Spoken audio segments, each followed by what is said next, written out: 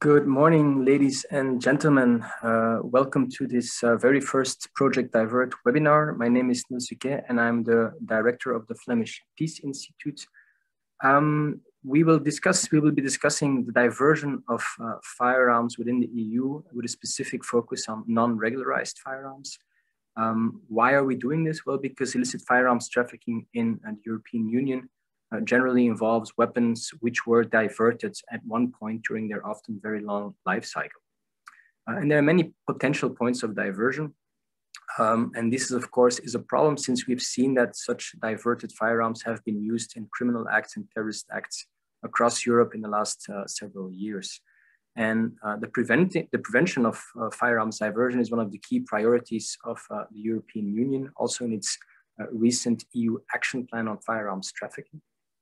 And therefore, uh, we started Project Divert, which is a, a, research project funded by the European Union um, and which focuses on three specific methods of diversion uh, on firearms theft, on fraud uh, to acquire or possess or keep firearms, uh, but also on uh, non regularization. And uh, today we will focus on this last type of diversion, uh, with an analysis of uh, diversion of firearms, components, and ammunition uh, through uh, armed conflict legacies, uh, illegal inheritance, and uh, as a result of regulatory changes within the European Union.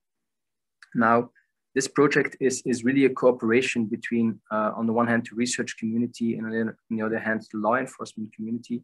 Um, so I would like to start by thanking our partners. first of all, SIPRI, who we did the research with, uh, Solutions, but also the, the law enforcement operational partners that have really been very helpful in um, undertaking this, this important project. Uh, so I'd like to thank uh, the Guardia Civil, Europol, and the Belgian Federal Police for all of their assistance in the last two years. Now, today we will focus on these non-regularized firearms. And, and during this webinar, experts from Arquebus Solutions, from the Guardia Civil, and from the Flemish Peace Institute will try to answer as many possible questions that you might have with regards to non-regularized firearms. Um, today, we will also be launching our report on this specific topic, uh, which will be available on our website uh, afterwards. Um, now, if you would like to mention this uh, webinar on social media, uh, you can always use our hashtag, which is uh, Project Divert. And if you would like to ask questions, we really would be uh, happy to, to receive them from you, from the audience. Um, so you can pass them on to us by uh, clicking on the, the, the Q&A button on the uh, lower end of your screen. Uh, and that way uh, we can see them popping up and we can answer them uh, during this webinar. Um, if you see a question which you think is very relevant, uh, you can also um, like it. You can use the thumbs up to score it a bit higher. And then we know that this is really something that is very relevant to you as an audience. Now, uh, first of all, I would like to welcome uh, Matteo Dressler, who's a researcher at the Flemish Peace Institute. Uh, Matteo, can you please tell us uh, more about the scope and the characteristics of uh, non-regularized firearms in Europe? Yes, uh, thank you, Nils. I'll first start by sharing my PowerPoint before I get started. can you see my PowerPoint? Perfect. Um, okay, so I will walk you uh, through some of the main findings um, of our research on non-regularization, which is one of the diversion uh, methods used uh, in, in Europe, as uh, Nils has pointed out, and one of the three we have looked at in depth in uh, Project Divert.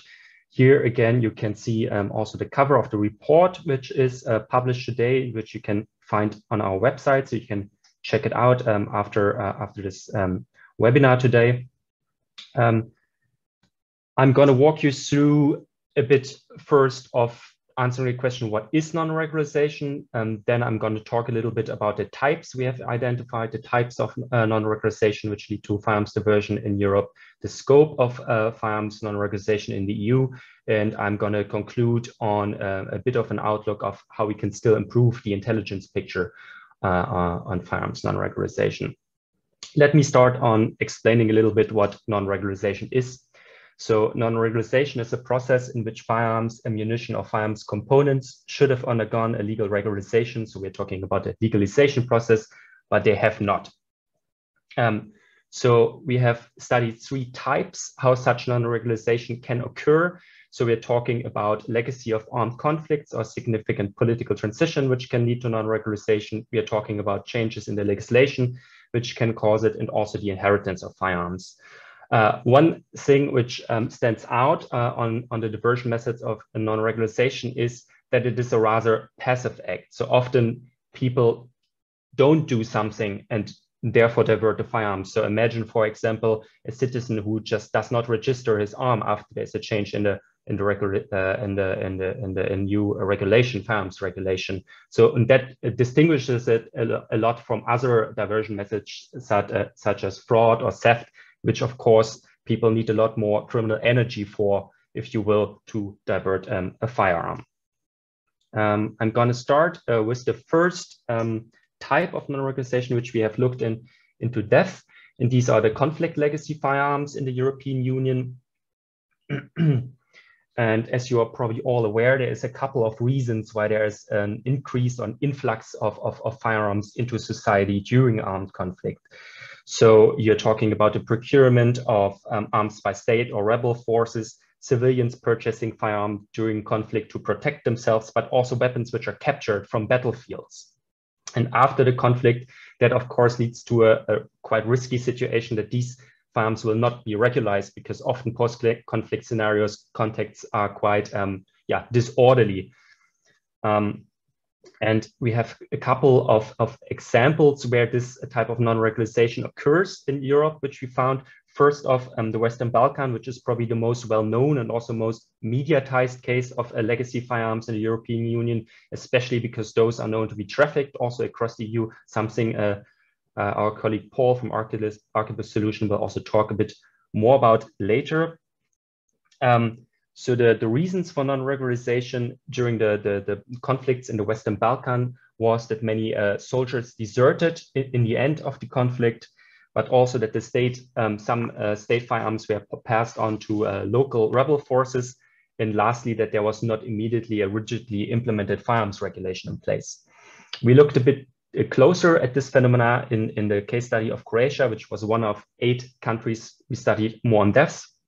And there we found that citizens, for example, clung onto their weapons for various reasons after the war. So first off, um, personal attachment to the weapon can be a reason to, to just keep it and not regularize it after war, but also the monetary value. For example, citizens who have purchased weapons during the war to protect themselves don't just want to give them away. But lastly, of course, also personal security as a reason. And we know, for example, for Croatia, that till today, these legacy farms um, are make up the biggest share by far of illicitly possessed uh, firearms in the country. And it's also those firearms which are used mostly in gun crimes in the country.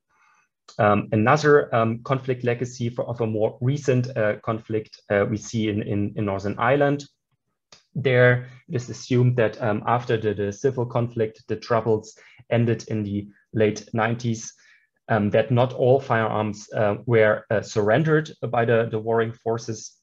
And that means, for example, today that in Northern Ireland, police still uh, fr uh, frequently seizes like also military grade uh, firearms such as AK-47 patterned rifles. And that is very different, for example, from the rest of the UK where these firearms are rarely encountered. Um, a bit of an older conflict legacy, which is, however, very widespread across the EU, are firearms which are still held from the First and Second World War. Um, those are still encountered today in multiple countries in seizures.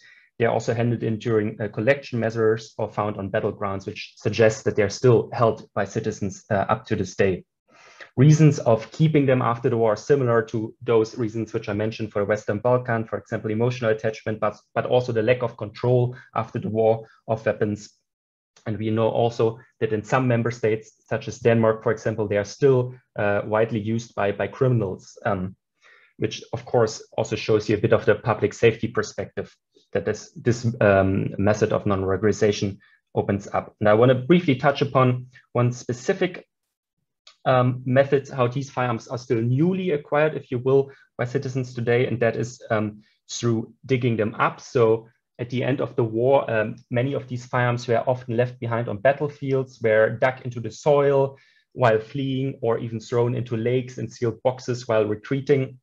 And this a picture you see here is, for example, by the Latvian police force, who has uh, found these firearms with a group of collectors who were specialized um, with going with metal detectors over old battlegrounds to, to unearth these, these type of firearms. And another example is, for example, from Austria, where, where it is known that um, some of uh, the, the mountain lakes in the, the region of Carinthia um, still hold large boxes of sealed uh, firearms, which some divers have specialized in trying to, to, to get uh, from, from the lake.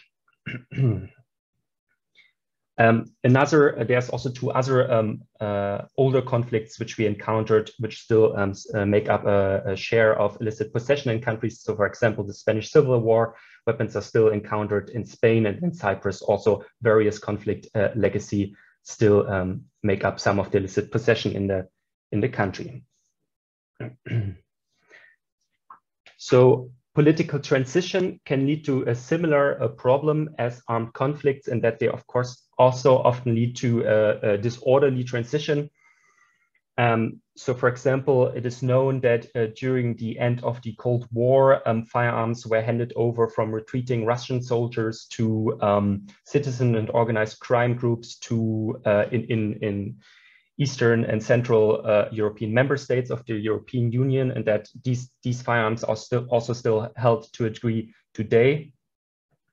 and yeah, what is perhaps also interesting to look at is the types of firearms we're talking about here. You see it a little bit also on the picture. So compared to other diversion method, it is especially um, pertinent to, to point out that it is also uh, military grade firearms, which are um, um, yeah, diverted these, through these type of legacies and machine and submachine guns, but also partly hand grenades. So that is very different from other diversion methods, um, which we're gonna um, talk about in a minute. then um, there's also a couple of conflicts which are still going on, which might also lead to a future influx of legacy uh, firearms into the European Union. Uh, here, it is especially important to point out um, Ukraine, where it is known that uh, a couple of millions uh, of firearms are proliferating in the country. Currently, they are still mostly proliferating in the country because there is a demand for firearms, of course, because of the ongoing conflict. However, should this conflict at some point calm down or end, there's of course a risk that, that this demand diminishes and that those firearms are also at risk to um, being trafficked um, to uh, the rest of the EU. Here you have a, a, little overview map basically of what I told you just now. So you see, for example, um, uh, Croatia. So i have only highlighted those countries in the European Union. You see, for example, Croatia with uh, Balkan conflict legacies. You see in red, for example, so Soviet legacy firearms. You see uh, in, in orange and those countries which have some other type of transitions or older conflicts and conflict legacies. And in dotted, the dots indicate, uh, for example, where we have observed black digging of World War weapons. I've refrained from coloring all instances where we have found uh, evidence of Second World War uh, possession because then probably the whole map would be colored. So after having talked about conflict legacies, we will now turn our attention to um, the second non-regularization method, which we have looked at in depth, and these are law changes.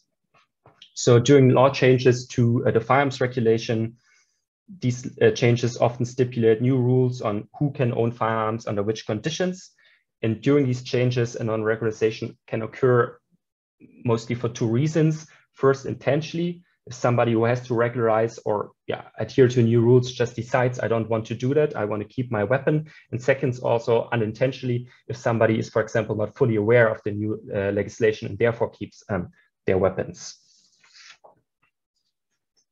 Um, there's a couple of um, uh, changes to the regulation which we found to be especially prone to uh, cause non-regularization. So first off, um, the reclassification of live firing firearms. So for example, when weapons either change from freely available to some type of registration or authorization, uh, but it can also of course mean, of course, mean that uh, some uh, weapons become fully prohibited. Uh, one example here, which we found, is the overhaul of the firearms authorization system in Belgium in 2006, uh, where many different types of firearms needed to be reclassified and therefore also newly regularized, if you will. And law enforcement experts assume that 10 thousands of these firearms were actually not correctly uh, regularized after this law changed and people actually decided to, to keep them, so to say, illicitly. Um, it is also um, assumed that this is making up one of the biggest share of illicit uh, possession in, in Belgium today. Another uh, type of change which is prone to non-regularization, which we have observed, is um, new rules for blank firing guns. So, for example, in Lithuania in 2011, there was a change to the legislation that um, uh, alarm pistols need to be uh, authorized by the police. And there was a three-year transition period to do that, to acquire such um, authorization. But even after 2014, when this uh, transition period ended, authorities still assume that uh, quite a significant amount of uh, firearms or um, blank firing guns are still possessed without being authorized. And this poses a, a, particular risk in this case because it, because it is known by Lithuanian authorities that these firearms are are target for criminal to be uh, converted uh, to live firing firearms. So again, this opens up also a public safety perspective here on, on, on non-regularization. Um, a third um, change in the regularization which, which uh, can cause problems is uh, new rules for firearms de deactivation. So um, the European Union, as many of you will know, has set out new standards for deactivating firearms what that means is basically to take away the, uh, the capacity of a firearm for live fire. And these standards have been updated uh, multiple times. And one central issue accompanying these changes was especially for dealers who are specialized, uh, legal dealers, which are specialized in, in, in selling these guns, that um, it is quite costly to update them to the new deactivation standards from the old deactivation standard, and also that these firearms uh, tend to be less um, popular with, with customer these days. Um, and for example, in Spain, we know of one case that, uh, where Spanish law enforcement uh, uh, agencies have busted a network of legal dealers in 2017. And these, these legal dealers allegedly sold uh, deactivated firearms, which were still deactivated by old standards after the law changed. And it is also known that some of them ended up in the criminal scene in Spain. There's also these this problem will also not go away in the future necessarily. For example, there were new rules uh, by the, the, the uh, EU uh, firearms directive set out on acoustic expansion firearms and uh, member states are still partly implementing them now or have recently implemented them. And here again, the issue is that in, ma in many countries where this uh, law change is now implemented to register these type of weapons, they have never been registered before, which means it is rather easy for somebody who wants to not stick to the new rules to just keep that weapon because authorities often have no records of them. So this is basically a, a problem which is not, not going away anytime soon. so in addition to uh, the problem with law changes and conflict uh, legacies, we've also looked at inheritance causing a non-regularization and we can think of inheritance uh, causing non-regularization in two ways. The first way is um, inheriting a legal firearm, but uh, not regularizing it. Usually in many countries, one has the chance to put an inherited uh, firearm on an existing license or to hand it over to authorities to be destroyed or to be deactivated. So if people do not stick to that rules, there's a risk that uh, they get non-regularized.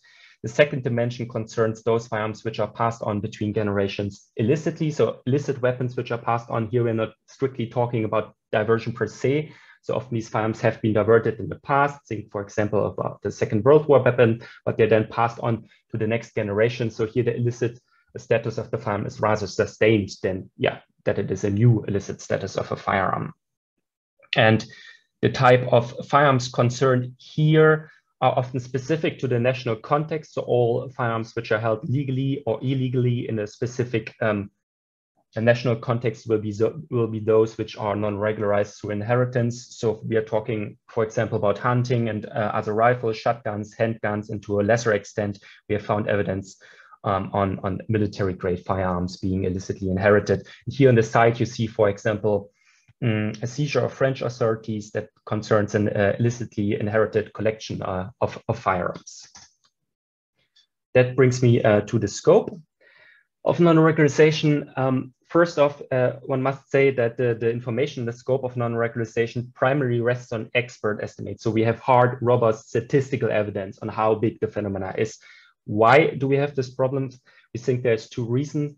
First of all, as the title of our report also suggests, these are in, in many ways forgotten or hidden weapons. So it is just very hard to quantify a problem which is per se rather hidden. Second problem is also, of course, that not all firearms which are seized are always um, analyzed and traced systematically for their point of diversion by law enforcement uh, authorities in Europe, which of course makes it hard to establish if these firearms were diverted through non-regularization. That being said, we found a couple of cases um, where police seizures were actually um, distinguishing for certain non-regularization methods, but those were the exception. For example, in Latvia, it is known that in 2015, more than 700 firearms were seized, and the police reported that about 50 of them were the product of past wars and black digging. In Poland, uh, similarly, the police reported in 2009 that about 40% of all seized firearms could be traced back uh, to, to black digging, which also already gives you an idea of, of how big the issue of non-regularization really is in these countries. That being said, um, that brings us to our findings. In general, we can say that non-regularization seems to account for an important share of illicit possession in a significant number of, of member states. And we estimate that a couple of million of these firearms are currently illegally held in the EU. Most of these firearms we found are held by uh, citizens, not criminals, However, that doesn't mean that these firearms do not end up in criminal circles. As I had mentioned before, for example, in Denmark, sec Second World War firearms are still circulating in criminal circles. We, we talked about Spain and Lithuania with risks of um, firearms which underwent a law change ending up in criminal changes. And then, of course, which we'll hear also later by our colleague Paul, the, the, the, the issue of um, Western Balkan firearms being trafficked across the EU. Um, and a couple of more points on the scope. Some of the most populous um, state in, in, in Europe seem to have uh, really big problems with non-regularized firearms. So we're talking, for example, about Germany, which had problems with law changes causing non-regularization uh, back in the 1970s, Spain, um, and also we have talked already about Poland um, with, with issues of black digging. So that suggests also that these are really quite big numbers since some of the bigger states, uh, when it comes to population, have problems with non-regularization. As we have also discussed earlier, states uh, have problems with different methods. So some type of conflict legacy is probably present in almost all uh, EU member states. Like, for example, the Second World War weapons, other legacies, as we discussed, are very specific to national or, or, or regional um, um, um, places.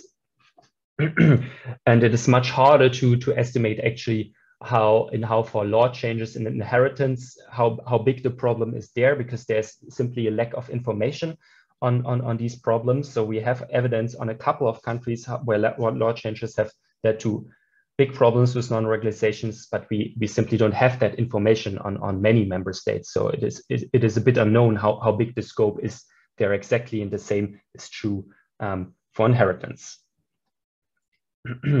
which brings me uh, to my concluding slide and which asks how we can generate more intelligence. First off, what have we learned through our research on this um, issue? We have learned a lot about, about the modus operandi of non-regularizations. We know quite well how it occurs, when it occurs, in which context it occurs. We have a general idea of the scope, meaning that we know that it is a, a relevant, quite sizable problem. That being said, we have little hard qualitative evidence on, on the problem in terms of how many firearms does it really concern. We have also identified a couple of good practices to generate um, more intelligence on the topic. Uh, one uh, big, big thing here is analyzing seized firearms for their point of diversion more systematically. Um, also considering, of course, sources of non-regularization while analyzing them.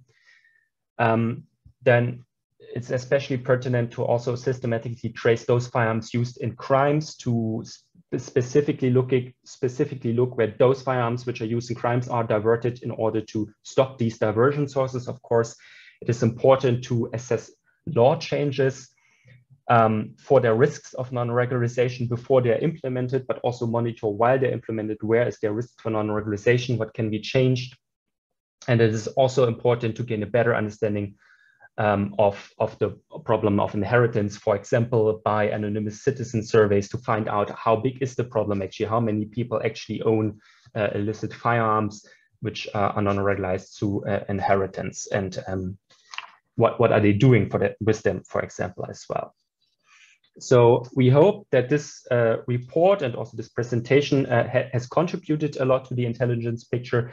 But of course, this intelligence picture, uh, we also hope that it can be used um, and improved and used for um, yeah, forming the basis for future operational and strategic actions to tackle non-regularization to prevent that um, non-regulars firearms also end up in the wrong hands and in the worst case scenario are even used uh, to commit commit gun, gun, crime. This is really uh, what should be avoided. And with that, um, I will hand it uh, back to my colleague Nils, and I'm looking forward to answer some questions uh, later on.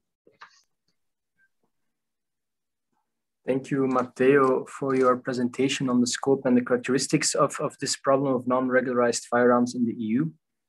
Um, as, as Matteo already mentioned, there's of course also uh, a problem with the trafficking uh, of these weapons. Uh, these weapons are being bought and sold uh, and trafficked across Europe. Um, with us today, we have Paul James from Arquebus Solutions, uh, which has also been very, uh, very good partner in our project, contributing to the findings that we will be presenting today.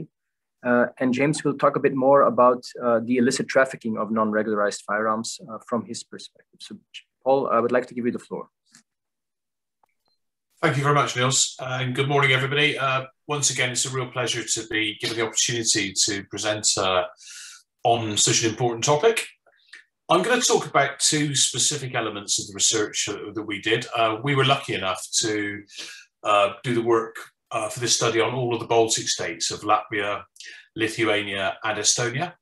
Um, and I'm going to talk about the situation there and some links from Lithuania to trafficking in the UK, which I was actually involved in myself. But I just want to give you a bit of a feel for the, the Baltic states generally. Um, I must say that um, the, the, the, cooperation we had from all the agencies and individuals across uh, all of them were absolutely fantastic. And there was a large degree of similarity across the three countries, although they all have their own unique characteristics. Um, broadly, Lithuania and Estonia uh, have quite low levels of uh, illicit firearms and a relatively inactive market. But in Latvia, the situation is slightly more different and uh, definitely more active. But there is a, a real degree of commonality uh, in non-regularized firearms uh, across all of them in respect of inherited and hidden firearms being a regular a regular phenomenon, being found in houses, being found in basements. That was something which was consistent across them all. But the thing that's really stunning, and I think from a research perspective, is the massive steps forward that all three states have taken since independence from Soviet occupation in early 1990s, because the broad situation across all of them now is that levels of, um, of, of, of, firearms crime and certainly again the issues around the, the, the thing that we're talking about today is very low whereas in the early 1990s it was very widespread. There were a lot of non-regulated firearms in possession of the public. Uh, when we were talking to the Estonian Security Service about this, they explained that just prior to independence being granted, uh, a large number of military trade grade guns were sold by the Soviet armed forces to local criminals and to Russian organized crime groups. Um, and although this was originally believed to be the result of corrupt Soviet officers, um, the belief uh, was, was formulated that it was a systematic practice to sell firearms to Russian friendly actors. And um, this led to a, a, rise in all levels of crime and non-regular, certainly possession of non-regulated weapons in the 90s. But the way over the last 20, 25 five years that these countries have actually developed systems of registration and removing non-regulated weapons from the marketplace is really good practice. Um, and it's led to a, a situation where there are generally very low levels of, of, of non-regulated firearms in, in possession of the public. However, Latvia is a slightly different situation. Um, they have quite a large and a, very significant problem due to historic firearms, um, due to the fact that the Latvia, unfortunately, was the location of several very substantial battles in World War II, uh, which is not the situation in Lithuania or Estonia. And this has led to a phenomenon known as, as black digging. Uh, this is probably the most significant source of illegal firearms in Latvia. Uh, most notably um, through the illegal excavation and possession of these firearms from the old battlefield sites. Um, and as I've mentioned, there were a number of very large scale battles in Latvia during World War II. Um, probably the biggest was the Battle of Courland, which lasted almost a year between July 1944 and May 1945. Um, and to give you some idea of the scale of the battle, it's estimated that were probably 150,000 casualties on both sides, both Soviet and German. Um, and after the war, the, there was a, a, very broad area with a huge amount of military style weapons left. Now, this has been exploited um, since then by individuals um, in, two, in two respects, either for individual interest as collectors or criminality to get access to these military grade firearms. Uh, and it, it's really interesting because you think after the passage of time that if you were to, to, recover these firearms now, what sort of state would they be in? But many of them have been preserved very well, and many of them are certainly still capable of being fired, which means that it is a real issue. Uh, the, the, police in Latvia believe that hundreds of cases of black digging happen every year uh, and accounts between 30 to 40% of the number of seized weapons and firearms related cases in that country every year. Uh, and as Matteo mentioned in his presentation, the example was a, a case in 2015 where of the 723 firearms removed from circulation as non-regulated weapons, over 50% of them were the product of black digging, which is a very substantive proportion, obviously. Um, and again, another operation in 2015, uh, there was a specific operation where they seized over 70 firearms, 3,000 pieces of ammunition, and these were machine guns. They were submachine guns. They were assault rifles, really serious guns. Um, and th these were recovered by the police targeting people who've been involved in black digging. Um, the MO is fairly simple for this because the location of the old battle sites are very well known. They're frequently marked on maps, which are readily available. So with access to these maps uh, and a metal detector, it makes it fairly easy to find these firearms. Uh, and also there's been a growth over recent times in online forums where they share information about where the black digging sites are and the type of weapons that can be found there. Uh, and the use of the, the internet and social media and things is in common with a lot of law enforcement issues at the moment. Um, there's also evidence of firearms being recovered by black digging being sold online uh, and through the dark net, which means that it, it actually is a really considerable problem. And the non-regularization of this is, is not unique to Latvia, as, as, as Matteo said, but I think it's one of the, the, the best case studies that, that we could give of, of, of, a really big issue that does need to be addressed because although there's limited evidence at the moment of black digging firearms being supplied and used in criminals routinely, there is definitely the potential for diversion. Uh, and also, I think innocent collectors who may well have collections who look to sell them in good faith could be exploited by criminals. And I believe that's happening as well. So the numbers in circulation are substantial anyway, but there's a risk that I really don't think can be underestimated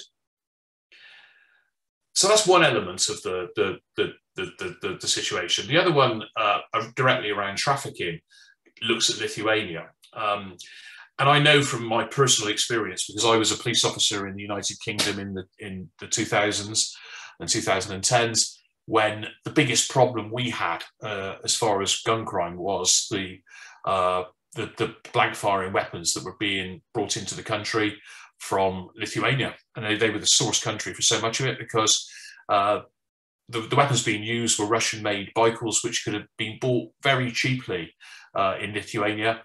They were being converted, so to they were able to fire live rounds in Lithuania and supplied to the United Kingdom in kits, were basically a silencer, a gun, ammunition were wrapped in a bag, wrapped in oil to destroy forensic evidence, and brought into the country on a very large scale. And the UK authorities worked with the Lithuanian authorities to address this problem and it, on two fronts. One, from a law enforcement perspective, we sourced the gun factory, the conversion factories in Lithuania, we closed them down. But there was a very significant change in legislation in Lithuania in 2011, which required the registration of alarm weapons. Um, and there was a period up to 2013 for that to take place. Uh, and the good news is that 50,000 alarm weapons have been registered, but the legacy of 20 years of free circulation with these weapons means there are many still in circulation, um, probably in their unconverted format, because what we are now seeing in the United Kingdom is these Baikal weapons still coming into the country, still coming from Lithuania, but not in a converted state. And we've recovered and discovered a number of conversion factories in the United Kingdom where we've actually found these weapons still coming in, but actually being converted here in the UK. It was a really good example, both from a law enforcement perspective, as I said, but also from a, a legislative perspective to address this issue. Um, but uh, I think the issue of readily convertible firearms, broadly as illustrated by the Baikal, um, is a, still a very real issue for a lot of countries. And I'll very quickly give you an example of a, a case study that I was directly involved with uh, when I was the head of NABIS in the UK back in uh, 2009 was a, a, blank firing weapon, a starting gun called the Olympic BBM. Um, and this was basically used as a, a, starting gun at race events and things like this. Uh, but the criminals had found it was really easily to convert, uh, to be adapted so that it could actually fire nine millimeter rounds.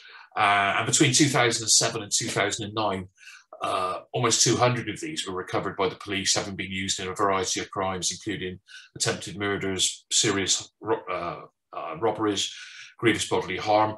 And in fact, it was the most commonly used handgun by criminal gangs, the youth gangs, the street gangs in London at that time. Um, so we had a problem here. We had a gun, but there was no regulation on it whatsoever, being the most problematical firearm. And this is an example of where really good focused intelligence, uh, such as uh, firearms focal points that are being developed to, across Europe at the moment, help to establish when a new trend develops. So we were able to commission independent testing of the Olympic BBM. Um, and using the test in the UK, forensic scientists were able to establish that it could be deemed as being what was classified as a readily convertible firearm. And, and the test in the UK is based on two elements. Firstly, any gun that can be so converted without any special skill on the part of the person converting it. And if it doesn't require equipment or tools other than such that are in common use by persons carrying out work of construction and maintenance in their own homes. So, having done the test with the Olympic BBM and deemed it to be readily convertible, the legal status of that firearm was changed overnight from being completely unregulated to what is classified in the UK as a, a Section 5 prohibited weapon, a handgun, because our handgun laws are very straight, uh, very strict, which meant that just straightforward possession of that gun left people liable to a potential five year prison sentence. And the practicalities of that is that we had to address this issue with a lot of people who had innocently purchased these firearms as blank firers were now in possession of guns which carried a, a very heavy penalty for possession of them. Um, so we worked in a very coordinated program of activity, working with sports shooting organizations, the gun trade, uh, with a three-pronged strategy, stopping the importation at source, withdrawing the product from uh, circulation, uh, through the gun, gun dealers and a targeted amnesty where we worked hand in hand on a very high profile publicity campaign. Uh, and we recovered of the, the 1,500 weapons that we think were in circulation, over 800 during the course of that amnesty.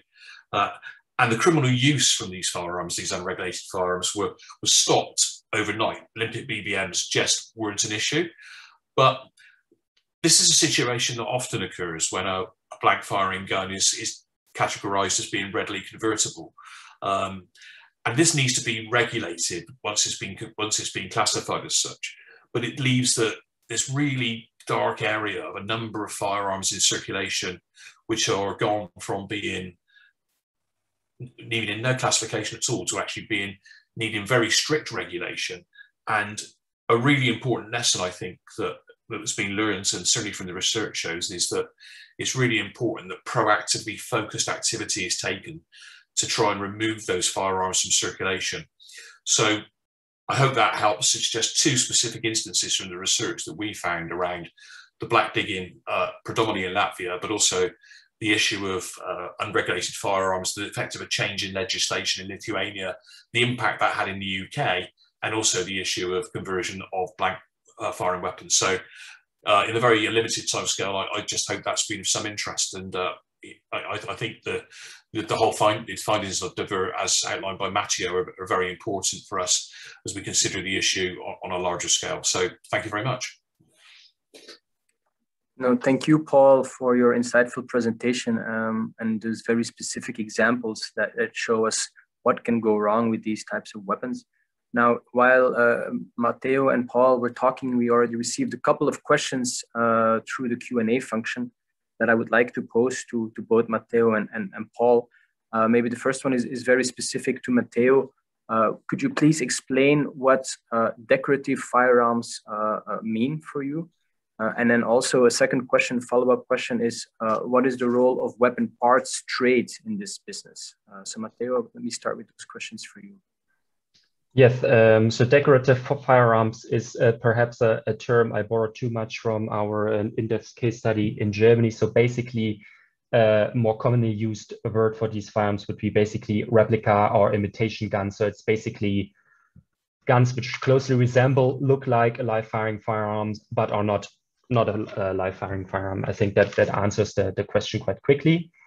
Um, the second uh, question was um, on parts, um, on the trade of parts. I can say little about the trade per se. It is, of course, um, the case, as, as Paul has also mentioned, that especially those firearms which are dug up um, by collectors, that they often need to be uh, refurbished to make them live firing again, if that is the aim by the collectors. So there, um, one can, of course, see that also parts might need to be replaced to, to kind of refurbish them. So this is definitely um, where, where parts, uh, parts also play a role, but perhaps um, also Nils can, can add a little bit on that or Paul on the issue specifically on the trade of, of these things.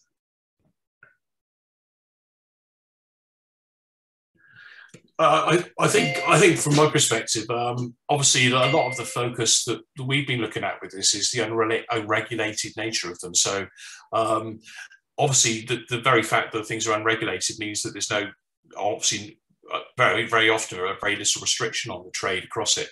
That changes, I think, when you cross the barrier into live firearms, live firearms parts. Um, but I, I, don't think we can add too much more to what what, what Matteo's actually said on that one, other than that.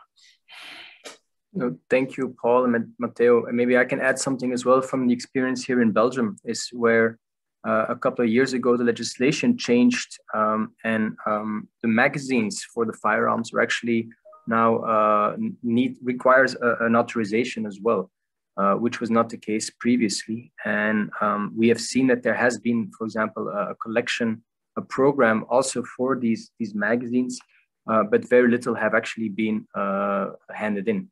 And this, I think, raises a question uh, which is connected to what Paul was saying as well, that if these, if these components were not uh, required to be registered before, it's of course very tempting not to regularize them when the legislation changes. And it's very difficult for law enforcement uh, agencies to actually detect them and try to uh, take them out of society. Uh, so I think it is a very important question that we, that we need to have a bit more attention for. Um, I would like to, to jump to another question which came in, uh, which I think is more for you, Paul, uh, which is also about um, the weapons, the post-Soviet weapons. Um, uh, let me read it quickly. At SEESAC, we regularly register uh, seizures or voluntary submissions of non-regularized firearms and ammunition remaining from the former post-Soviet conflict, such as the Transnistrian War. And there are occasional reports from the Moldovan police seizing uh, small arms and light weapons, possibly coming from the Transnistria region. I wonder whether some of those firearms end up from the non-EU post-Soviet area to the EU, uh, for example, through Romania or another EU member state. Do you have any uh, estimate or idea whether this is really something significant enough to keep track of? Now it's a, a long question, but I, I, hope, Paul, you have uh, an idea. Yeah, I mean, we've, we've done a huge amount with SEESAC and uh, yeah, really good to see them involved and they, they do a great job with the, the monitoring of weapons from there. Um, I think, yes, I think the answer is, my, my, my understanding of this would be yes. Um, I, you know, we've definitely seen examples from areas uh, such as Romania uh, and, and, so on that actually do get trafficked. Uh, and I, I, think the answer to the question, I, I, do think it is significant enough to, to keep track of, um, but probably not to the level that we do see from other countries um, down in the Western Balkans at the moment. Thank you, Paul. Matteo, do you want to add something uh, to that question? Yeah, uh, I think that um, that also one one uh, issue is that um, other sources of uh, previous Soviet weapons, such as those which are still kept in Slovakia and have been deactivated into Flobert weapons, into acoustic firearms, that those firearms from the, the uh, post-Soviet space, if you will, receive a lot of, uh, of attention for good reasons uh, still, and maybe that's also why uh, less attention has has been paid to to these issues. This is something I could still add. Okay, thank you. Um, no, thank you both for, for the answers to the questions we've received. There, there's one more question specifically more on legislation, which I would like to uh, deal with after the presentation of uh, Adriana and Maria, um, because we still have some time at the end of the webinar. Uh, so do not hesitate to send in more questions if you have them. Um, now it's time to move on to the law enforcement perspective. Um, Adriana, uh, you work, uh, well, you're the driver of EMPACT Firearms uh, that really stimulates uh, cooperation between national law enforcement agencies. Um, and Maria, you are the with the Spanish uh, national focal point. Um, so I think very interesting perspectives that we can hear from you. Uh, can you both tell us a bit more on, on international and national law enforcement initiatives to combat the trafficking of such non-regularized firearms? Uh, Adriana, the floor is yours. Thank you very much, Nils. It's always a pleasure to be uh, involved and uh, to continue supporting the different initiatives that we have been developing together. So as you mentioned, I'm the EMPACT Firearms driver and uh, from the EMPACT Firearms, we have uh, actually uh, been working in a multidisciplinary uh, way and in a really comprehensive way to be able to detect the different needs. And definitely one of the most relevant um, issues has been in relation uh, to the different um, implementations of the law at the international and national level. Uh, so I want just to share a really short uh, presentation uh, to go with um, the words that I want to share with you. And then immediately I will give the floor to Maria, that she is at the Spanish National Firearms focal point, also to explain different developments in terms of um, changes on the, the different legislations at national and international level to be able to uh, help the fight against the firearms trafficking. Uh, so you know that at the international level, one of these initiatives has been the EU Policy Cycle, and then there is one specific EMPACT in relation to the firearms. And uh, what uh, this EMPACT has is experts from the different um, uh, areas that uh, are needed to be able to tackle the firearms threat. One of them is the legal control, but it needs to be combined with investigations and also with uh, the different challenges in terms of the forensics. And with all of that, we are developing uh, activities uh, related to intelligence picture, operational support, capacity building, cooperation with our partners, and uh, and uh, the rest of the things that you see on the screen. So thanks to that, we have been able to detect different threats that has just been explained by the previous speakers. So such as uh, the problem with the gas alarms and uh, the Floberts, and also with the historical and the lost stolen weapons. And we are targeting from a more strategic point of view with the support because this is um, work that we are developing all together, member states together with the agencies uh, and other uh, relevant stakeholders. So later on, after with the presentation with the Commission, we have been working really close together. So there have been some developments already because of the threats that we have identified. So working all together, we have been able um, to develop many initiatives. So we have uh, defined um, many different specific threats and uh, many of them, they were linked also with uh, the uh, differences and discrepancies on the implementation of the different uh, pieces of legislation at international and uh, national level. And uh, the diversion is uh, obviously one of them, and we have been cooperating uh, with uh, with um, the organizers of this um, uh, seminar uh, today and the uh, following days. So with the Flemish Peace of Institute in cooperation with the Project Divert and the EMPACT Forum. So um, this is the introduction on what, as an example, one of the national forums focal point um, they have been detecting and developing um, because of a consequence of all all these um, international uh, way of work. So I will give the floor now to the uh, Captain Maria that um, she's um, working at the National Firearms Focal Point, uh, where they have been uh, detecting and developing many uh, uh, changes in the legislation at national level because of the threats that we have identified. So, Maria. Um, uh, I can share. So, good morning. So I can share my uh, video. I don't know why. One moment.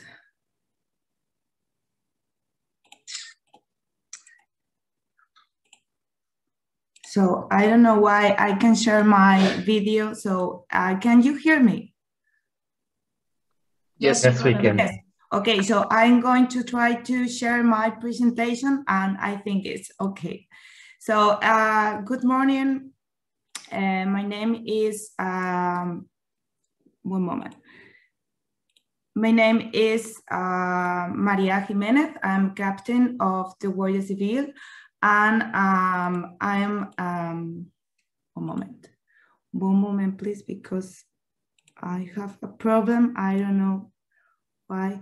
Can you uh, see my presentation about? Um, yes, we yes? can see everything you're doing with the PowerPoint. Okay, just the presentation. Uh, one moment, please. Okay, so uh, good morning. My name is Maria. I am captain of the Guardia Civil and I am assigned to the Spanish National Firearms Focal Point. In these few minutes, I'm going to briefly explain the situation in Spain with respect to the main topic of today, the diversion of firearms. Uh, thanks to the thanks to the data uh, that we analyze every year at the National Firearms Focal Point, we can estimate the number of firearms seized due to the commission of a crime, which come from diversion. Uh, this is possible because we try to analyze the traceability results uh, of these firearms. Uh, I have used data from the last two years as an example. Uh, as you can see uh, in the slide, in uh, 2019, we determined that over 62% of firearms seized were registered and seized from their legal owner. Therefore, the other 80, 38% of the firearms came from diversion because they were seized uh, from the illegal owner or even their origin uh, could not be determined. In the last year, uh, taking into account the effect of uh, COVID on criminality, around 7% of the firearms were seized from the legal owner. The rest, around 30%, came from diversion. Uh, as I said, um, data um, are from firearms related to a crime. Uh, however, uh, most of uh, the firearms uh, from the diversion are surrendered directly by the family of the owner to the competent authority, Guardia Civil, when the owner passes away uh, as the weapon uh, were kept for personal defense or emotional reasons. So uh, in Spain, uh, some of the sources of uh, non-regularized weapons are uh, the army. The army is responsible for controlling the weapons used for the personnel. Nevertheless, uh, during the 50s until the 70s, some of the weapons were not only the army uh, control any longer uh, presumably because uh, some of the register were lost. Uh, the consequence of that uh, was the most of those weapons were kept by the original owners without permission until they passed away. Um, in order to be able to recover the weapons uh, that are in similar situations, uh, the Spanish regulation set up the possibility of what we can call a permanent voluntary surrender uh, campaign, uh, meaning that uh, the family can hand over the weapon uh, without being uh, triggered for illegal possession or uh, punished by any means. Uh, this is the same case that the Spanish war, uh, uh, Spanish Civil War's uh, weapons. Uh, gas alarm weapons, these kind of weapons are not firearms in origin, but what we all have seen is that every time that the traceability of a weapon is not ensured, it becomes a problem. Uh, the gas alarm weapons until uh, 2017, they were fully, more or less, sold in Spain. We uh, changed the regulation and now the owner must be authorized and in any case, the traceability of the weapon is ensured. Uh, in order to uh, be able to regularize the previous uh, weapons, a massive coordinated action took place on all the agents through the country went to the stores uh, to get the personal information of the previous buyers. After that, a campaign another campaign of surrender regulations uh, took place. But uh, still, uh, there are plenty of gas alarm weapons to be regularized. Uh, these are the most important situations, although uh, there are a great variety of cases. Uh, for example, uh, antique firearms, which are regulated in a different way in other countries, and also the activated firearms about uh, which Spain modified the regulation to harder measures of the activation. Uh, thanks to uh, our experience, uh, we have learned that criminals take advantage of any legal uh, loopholes. So the strongest tool to combat diversion is to increase uh, restrictions and controls, of course, and the best tool as a law enforcement agency is traceability investigation, not only to know the origin of a specific firearms, but also to know the current situation of each country and uh, new trends. Um, thank you very much.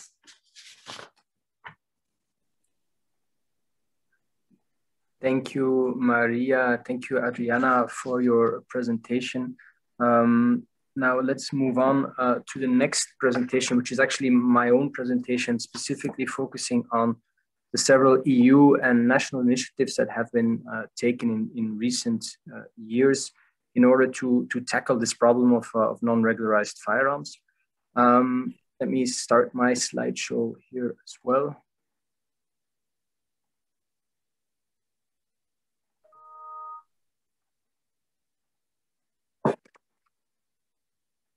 Okay.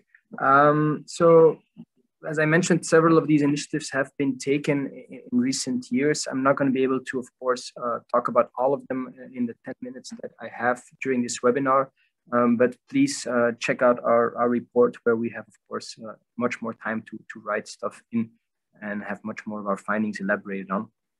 Now, I will just focus on some of the key uh, initiatives uh, that I think are very well worth mentioning. Um, now, first, let me start with the EU. Um, as I mentioned in the beginning, the, this is really a priority for the EU, uh, safeguarding the illicit market and, and, preventing diversion, but also trying to building, trying to build a better intelligence picture because we, we know that uh, this, this is a problem, but we know not enough uh, to really focus on the problem and be able to deal with it in a very effective way. Um, so what the EU has been doing is, is actually been uh, trying to improve this intelligence picture in, in various ways uh, by, by supporting actions to uh, increase uh, good uh, data collection, uh, firearm strafing, tra tracing, as Maria was said, is, is, being stimulated, but also information exchange, for example, through the EMPACT platform. So I think these are all of the, the, the issues that the EU is really trying to, to, to push. Um, but when you look at it from a researcher perspective, it's also interesting to see that um, several of uh, previous research projects that have been funded by the EU have also focused on, on diversion. Uh, projects like Effect, uh, Fire, and SAFTE have all analyzed uh, firearms diversion within the EU and, and the trafficking, especially of conflict legacy weapons. Um, now with Project Divert, we're actually doing the very first uh, project specifically focusing on non regularized firearms, uh, as well as firearms thefts and, and fraud. Um, so this is the first time we really have this explicit research focus on non-regularized firearms as a, as, as a whole in Europe. Um, as I mentioned before, and Adriana was saying, of course, the EU is also supporting EMPACT Firearms, uh, which I think is a very important platform to be able to really consolidate and strengthen connections between national uh, enforcement agencies, for example, for setting up uh, joint operations and, and, and, really operational information exchange. Now, what I would like to focus on today is maybe uh, look specifically at these conflict legacy weapons. And, and the EU is doing uh, several things on that. But I think very importantly, of course, is it looks at the source countries and the source regions and tries to work with partners uh, in these regions uh, in order to solve the problems there as well. And the EU has been supporting uh, SEESAC uh, for, for, very, for, many years now uh, with all the work that they've been doing in, in really trying to uh, getting the situation under control with regards to, to legal possession, legal trade, but also the illicit possession and illicit traffic of firearms. And I think a very important uh, step there uh, that has been taken is this roadmap that was developed in 2018 um, to really tackle illegal possession, misuse, and trafficking. And one of the key uh, priorities uh, in, in uh, this roadmap is actually uh, decreasing the illicit possession in the Western Balkans, which is, of course, very largely connected to the armed conflict of the 1990s there. And ways in, in which uh, the roadmap stipulates in doing this is, for example, uh, by organizing collection, voluntary surrender uh, campaigns, uh, possibilities for uh, legalization, for regularizing firearms um, from illicit possession. Uh, but also, for example, by focusing on good deactivation procedures um, and, and having enough time to, to be able to register, re-register your firearm after a change of legislation. I think these are all very tangible actions that really can make a difference uh, with regards to the situation in the Western Balkans, uh, which is of course an important source region for trafficking into the EU as well. Um, but uh, as was mentioned by Matteo, it's not just the Western Balkans that people are, are worried about. Uh, we're also looking at other potential future source regions like Ukraine, uh, like uh, Middle East and North Africa. And there as well, we see that as part of the EU small arms and light weapons strategy, um, External Action Service is also uh, supporting uh, various initiatives to strengthen cooperation with the countries in Middle East, North Africa, and with Ukraine as well, trying to set up a, a good information exchange um, so that we can try to avoid some of the problems that maybe uh, arose uh, from the Western Balkans uh, previously. Now, um, these are some of the issues specifically from the EU with regard to conflict legacy weapons. Now, with regards to uh, non-regularization as a result of, of changes in the regulation, um, there are also some initiatives that I think are, are well worth mentioning. Um, and a first one, I think a very important one is, is the, the introduction of the so-called grandfathering clause. Um, as many of you know, the EU Firearms Directive was, was amended uh, in 2017 and one of the, the major changes, and also one of the most controversial changes, uh, was the, the reclassification of certain semi-automatic firearms uh, into a category A, which are prohibited firearms.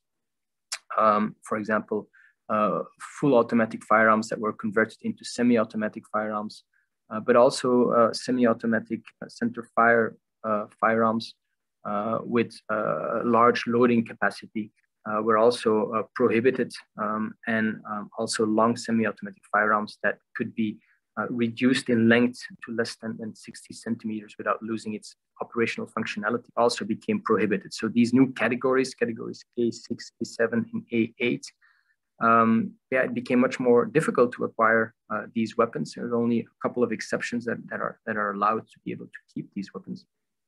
Um, but what is interesting there is that the EU found a, a compromise uh, with regard to this grandfathering clause, which basically states that people who possessed these types of weapons, legally possessed these types of weapons uh, before uh, 2017, uh, were actually allowed uh, to keep.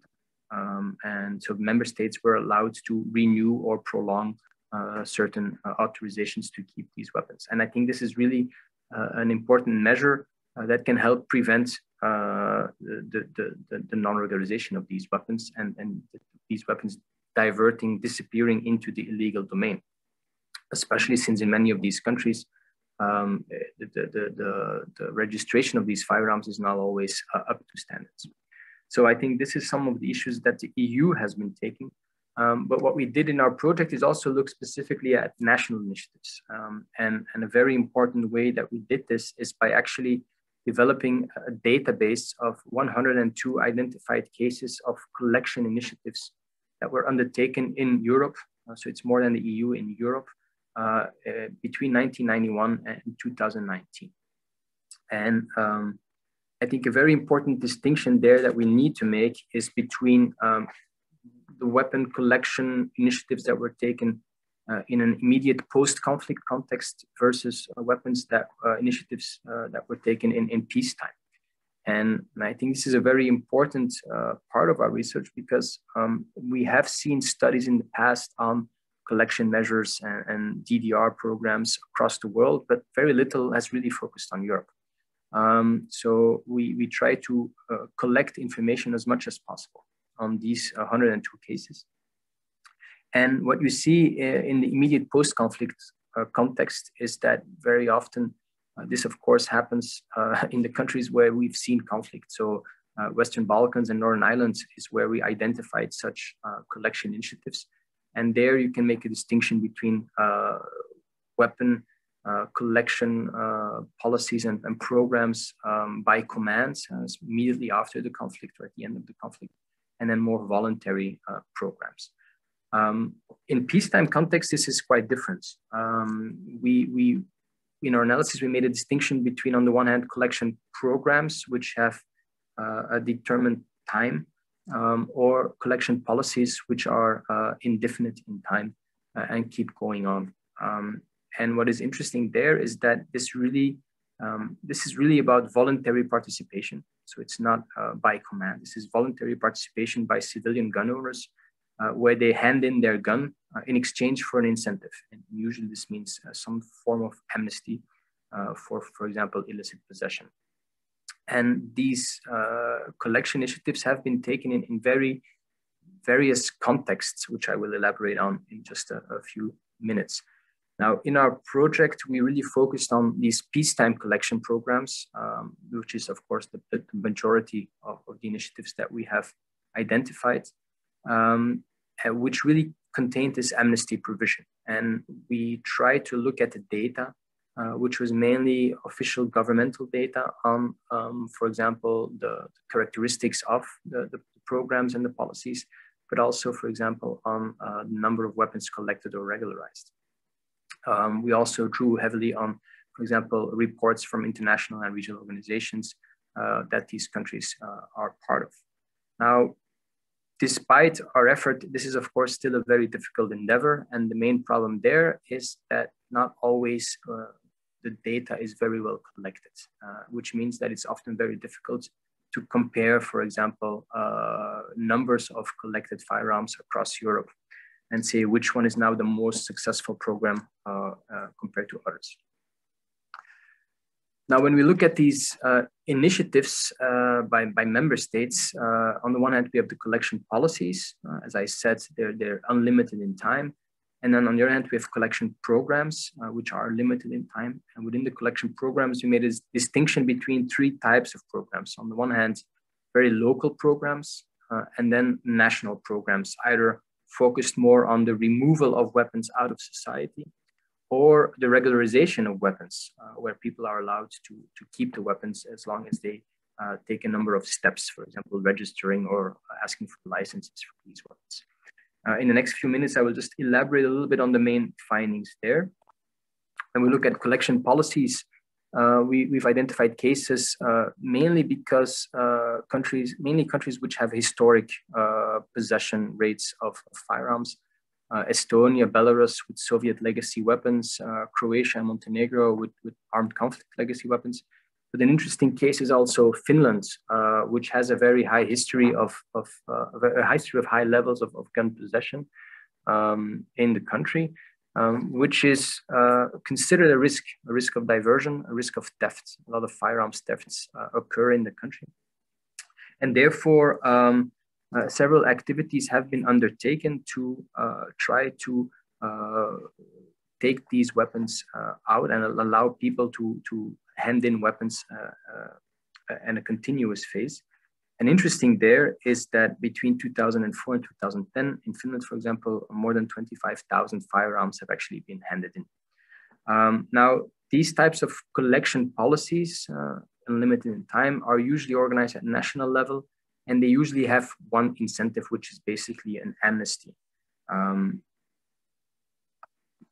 when you look more at the, at the time limited collection measures, um, we have collected a lot of information and, and, we can conclude that in total in these 20 years, uh, more than 650,000 firearms have been collected through these collection measures, which are mainly organized at national level.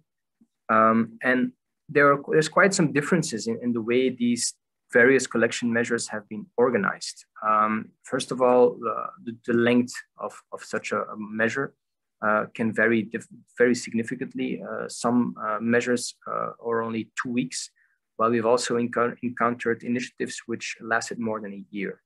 Uh, now, on average, this is it's very difficult to say what the connection is to the number of collected firearms. Um, we have seen that longer programs do not necessarily lead to more collected firearms.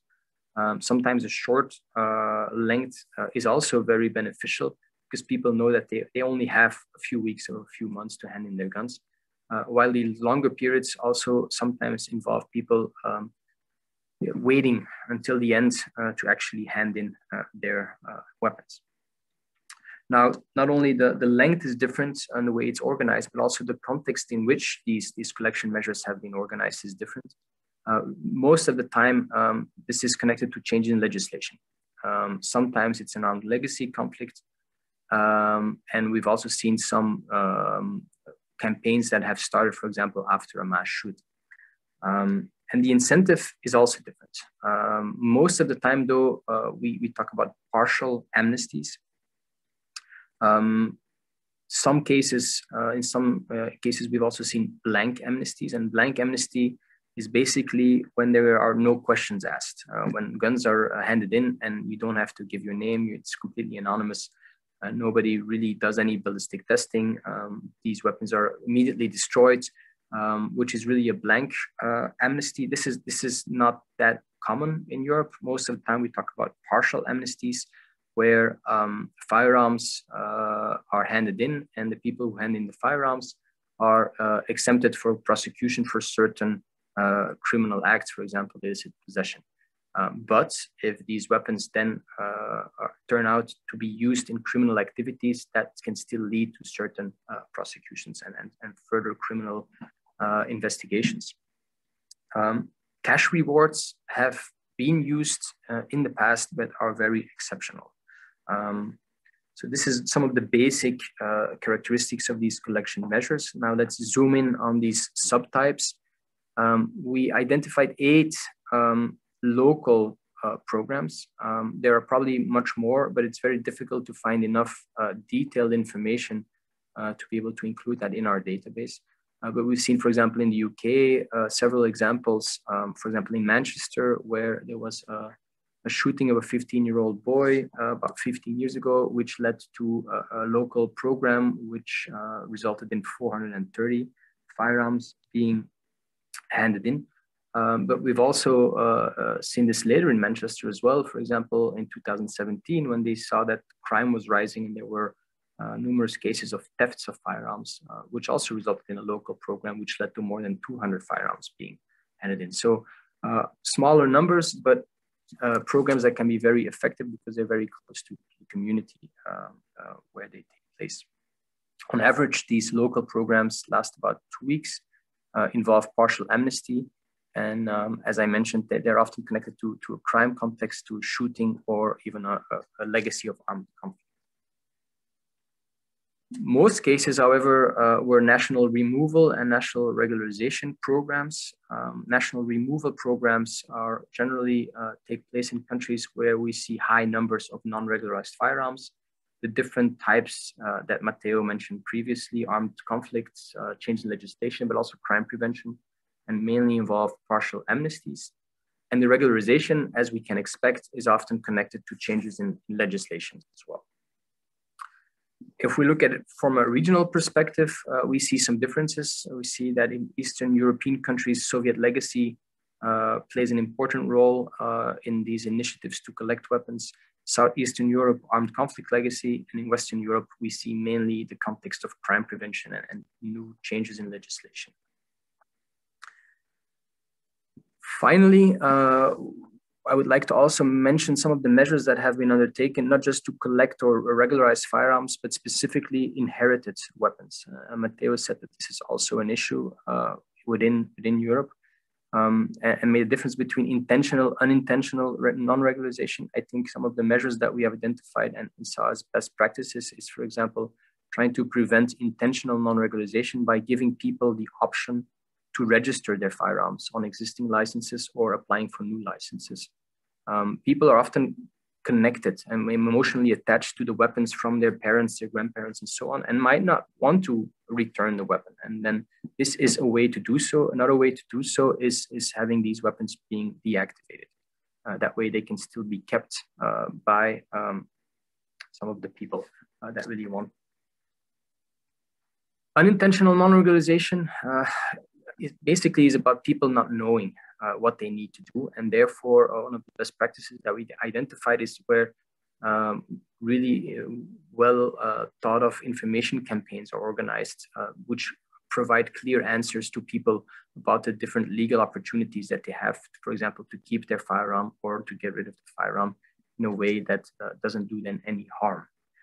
But we also know that some people uh, don't uh, regularize their firearm because of a fear of punishments. Um, so that we also seen several procedures for found firearms where people can uh, uh, hand them over to the police because they found them several weeks or months after, for example, somebody deceased. And then finally, um, it, what is also important to keep in mind is when we have um, these changes in legislation, there are some things that we need to do in order to, to, to limit the risk of diversion. And first of all, it's, it's have a clear and targeted communication on these changes and the legal possibilities, as I mentioned before. But also, uh, which was mentioned earlier today, uh, keep good records of legally held firearms uh, because that enables people to trace weapons, enables people to actually follow up on what happens with these weapons. And finally, uh, what I also mentioned earlier, uh, like the grandfathering clause, we've seen this not only at the EU level, but also at national level, which I think is a very important way to try to prevent these diversion risks. Um, with this, I would like to end my own little presentation. Um, um, what I can say is please check out our website, our new report, where you can find much more information on uh, all of the stuff that we have just been talking about. And now I would like to go back to uh, my, my the speakers of today because we still have a couple of questions that have uh, come up through the Q&A function.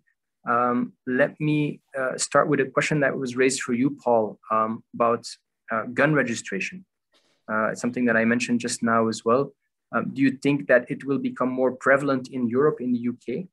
Uh, I mean, that, that, I mean, I'm really grateful for Casey for asking that question because it, it's, I think, probably one of the most important elements with all of this. Uh, and I feel very strongly about it. I mean, we, we've seen a load of the way that this works. I mean, I go further than saying a, a registration system. I think it's a firearms life cycle management system where the, you, you actually track the life cycle of the firearm from its origin, you know, from importation or manufacture right the way through to destruction. And that can only be done through effective registration systems and comprehensive registration systems. And that's where I think there is a big weakness. Uh, my experience shows me that there's very little joined up thinking about the best way to do this. And systems can run from very good and very complex systems in, in some places to still spreadsheets in others, which no way do the business. And I think as well, when you look at this particular thing of non-regularization, and you take Lithuania, for example, where they decided to regulate the gas weapons that were causing such a problem. Well, if you're going to do that, you need to keep records of them. You need to understand the risk that's being posed by them being diverted. And also, you need to understand when they've been destroyed or removed from circulation so you can understand the whole issue. So, I, I could talk forever about this. Like, you know, maybe it's something we can, but if anybody'd like to come back to me, because it's something that we've done a lot of work on, and I think it's definitely moving in the direction where we, we need to become more joined up. We need to come up with consistent standards about what registration systems do, and indeed licensing systems, but I think it's really relevant to the unregulation, the non-regulated issue that we talk about today. And you know, we're talking about recommendations. That is one of the ones I would personally would put right at the top of the list. Thank you, Paul. Um, we also received another question um, and a comment uh, thanking us to for emphasizing the public awareness and outreach on changes to national legislation as an important tool in tackling non-regularized firearms from what we see in Southeastern Europe, there is often a lack of information among population, in particular when a firearms re-registration or legalization process is ongoing. So I would like to maybe ask uh, Adriana and, and, and, Maria if you can uh, answer this question as well. Uh, what, what, what is your opinion about um, information exchange and, and really awareness raising among the public on, on the campaigns that have been going on?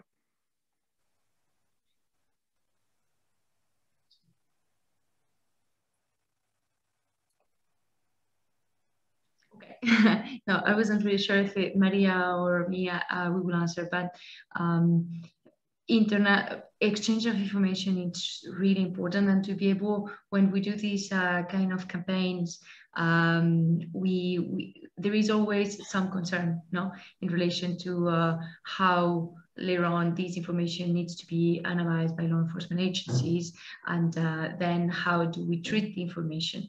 Uh, so um, yes, we definitely by our experience, um, at least also that, that we depend on national level, but from our experience in Spain, uh, we always check um, uh, firearms. So if some crime uh, could be uh, investigated, the investigations will will be developed. Uh, so there are different kinds of uh, campaigns that can uh, be um, developed. And this is uh, from our experience. But then every country have different ways of developing uh, these kind of campaigns, but they are really important uh, to be able to be shared and to be able also to, to share different experiences and so on. And also once these firearms could be linked with other countries, the exchange of information with other countries, that's a must.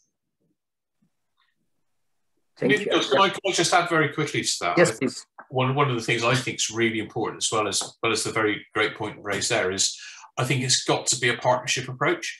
Um, and what's worked really effectively, uh, I've seen on, on, lots of cases, is where you work with the the gun lobby, so to speak, the sports clubs, the shooting clubs, people like this, because they have great relationships with uh, their, their, their, their owners. And sometimes they feel that law enforcement are targeting them and focusing them on and not doing it for a good reason we've very much found if you can get them on board and work with them and get them to understand the rationale and the reasons why it's really important to perhaps register a firearm uh, and bring it into legislation, they can work with them. And that's been one of the most effective things of any strand is not just the message needs to go out, but I often find that the, the people who actually represent people who own firearms legally, because nobody's looking to attack the people who are responsible with firearms, it's the illegal side of it. And I think if you can get their trust, they tend to work with you and that's been really successful in getting registration and uh, removal of firearms that aren't.